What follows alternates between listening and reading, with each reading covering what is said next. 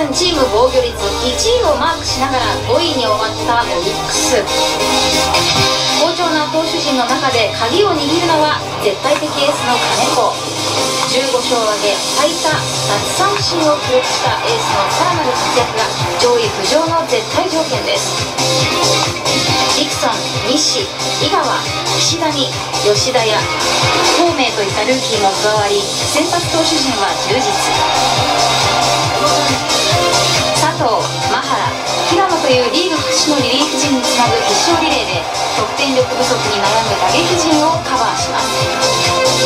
オリックス悲願の優勝は強力投手陣にかかっています。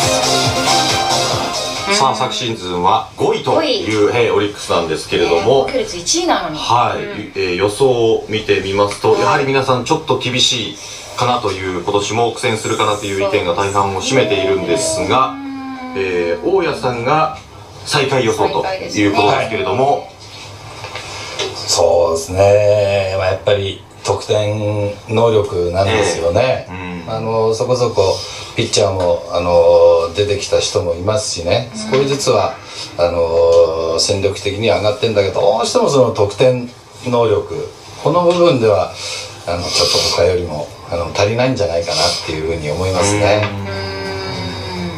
そして高木豊さんがはい。もう最下位ですね。はい。はやっぱりチームのバランスが悪いですよね。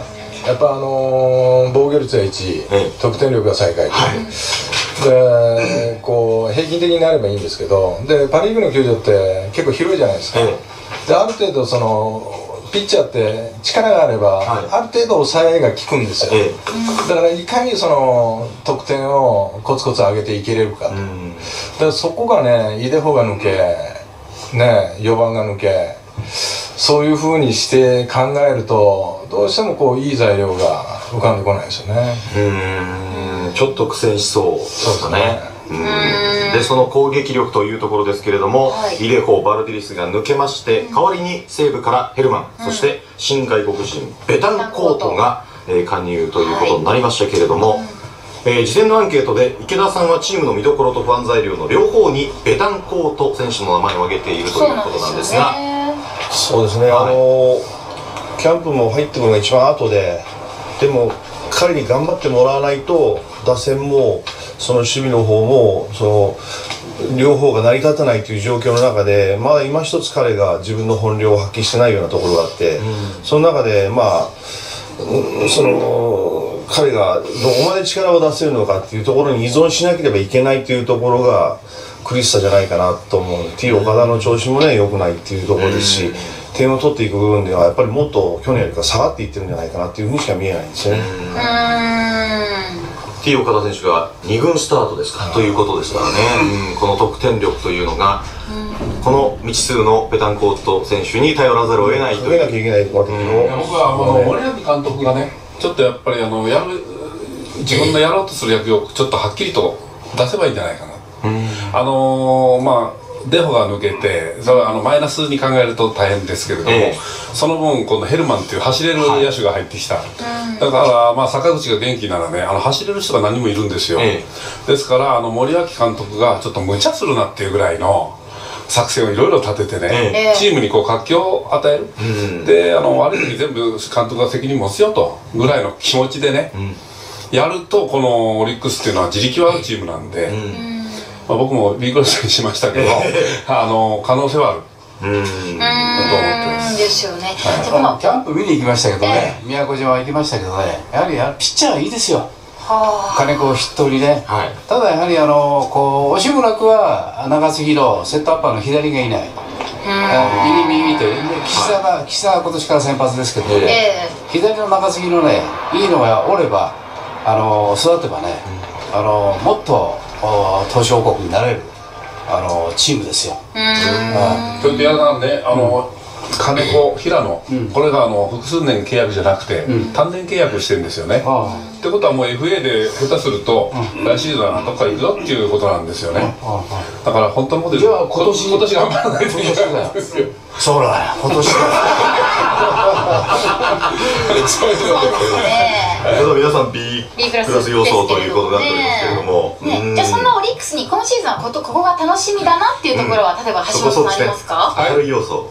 えこんなとこ楽しみに期いや待するなって。いう谷選手がね2000本。はい。楽しみですね。そうですね、ええまああと50周年なんでね、やっぱりその、やっぱ選手個々がねやる気になってっていうなんとかっていうところ、まあ毎年ここ最近は本当に裏切られてましたから今年こそ逆に僕も最下位予想させてもらったんで、はい。